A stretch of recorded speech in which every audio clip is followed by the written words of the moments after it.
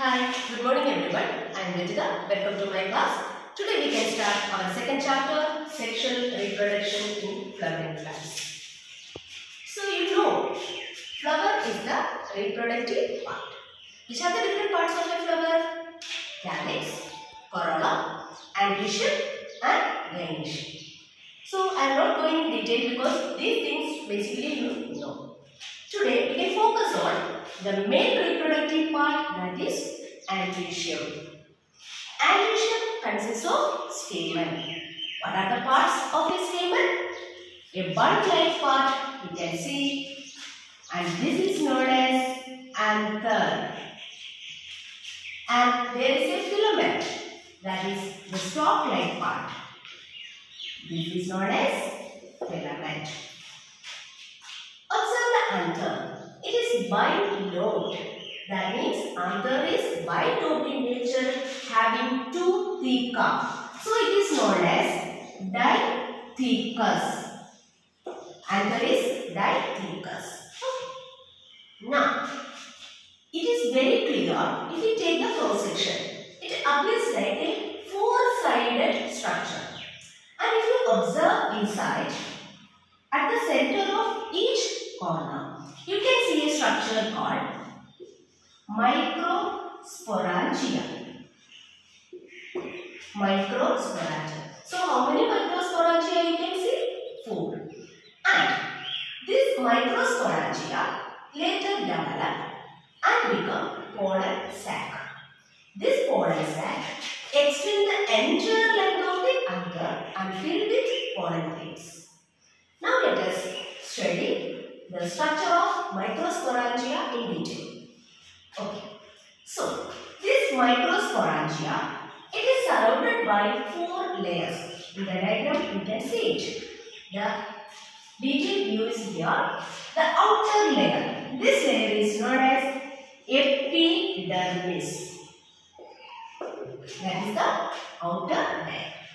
Then the second one, that is known as endothecium. Then the next layer that is known as the middle layers. And the innermost layer which is known as tapetum. So, which are the different layers? Epidermis, endothecium, middle layers and tapetum.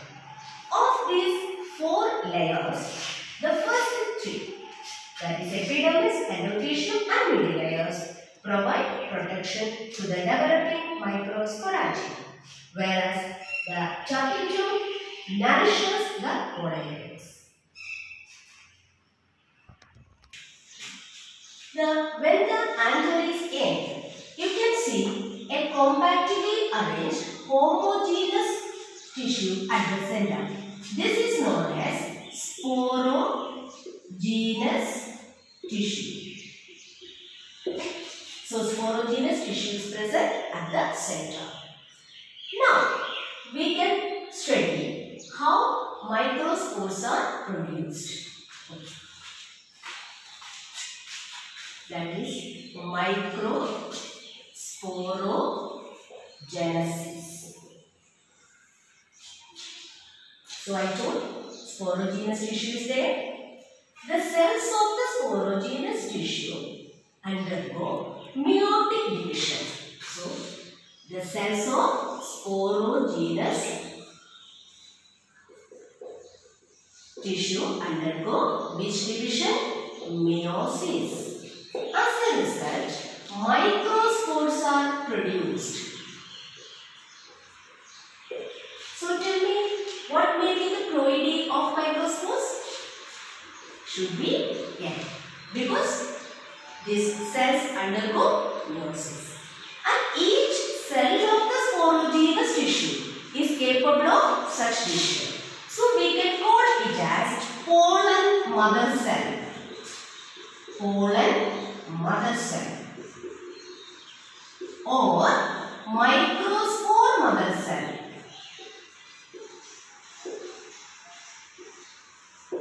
Okay.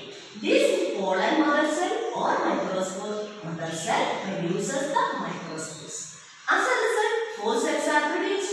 These four cells are arranged in a cluster of four. So it is known as microspore tetrad. Microspore tetrad. And this process of formation of microspore tetrad from sporogenous tissue through meiosis is known as microsporogenesis. And when the anther matures and these microspore tetrad it dissociate from each other and each one develop into immature pollen grain. Thank you.